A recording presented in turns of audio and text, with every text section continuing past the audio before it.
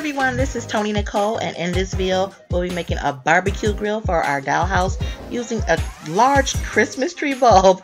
I know it sounds really really weird and we've got a lot of materials to use. So I have that scrolling for you and before we get into the how-to I'm going to need you to subscribe to the channel and click that notification bell. You guys know what to do.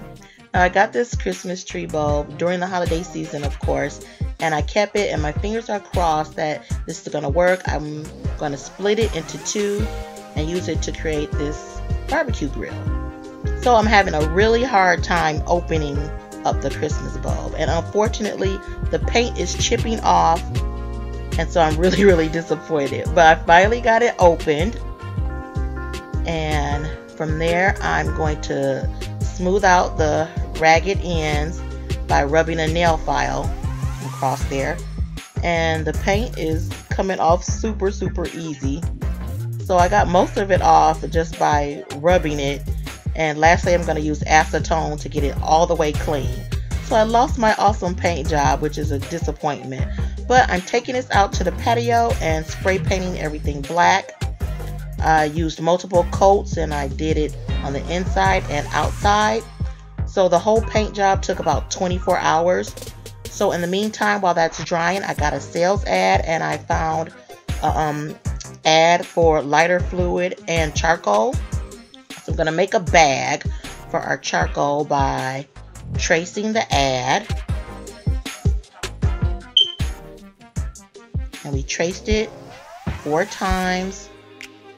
Then we're going to draw little tabs from there we'll cut it out. And I'm using a popsicle stick to help me fold on all the lines. And I apply a little glue to the tabs to create a bag. And then you glue the sales ad on the bag. Now we're going to actually create charcoal to put inside the bag by stacking and gluing cardboard painting it black. Then I cut out little squares of craft foam and glued it on the top and applied a little bit of glitter. And here's the look. We're going to put that aside to dry.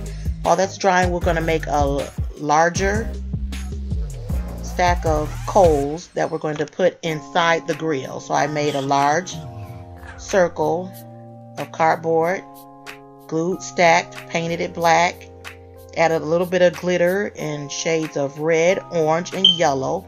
That's going to give the look of fire burning. I added some more cut up foam and then we're lightly tapping everything with a little bit of white paint to make it look like ash and it's a really cool look it looks like burning coals. So finally our charcoal is dry and you just put it in the bag. And I like the way that looks. It's nice, kind of a real look to that.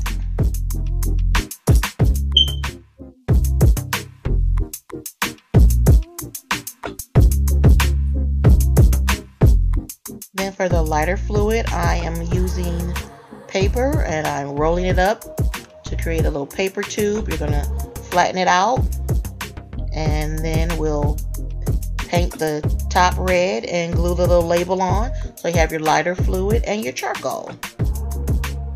So it's the next day and everything is dry. I brought my Christmas bowl back in. It's a little bit of damage to the side but I'm gonna line up the back and I'm using a piece of craft foam to attach it so that opens and closes. I know that there are other ways to do that to put a little joint in there using a straw, but we're just using a craft foam for now to attach the both pieces.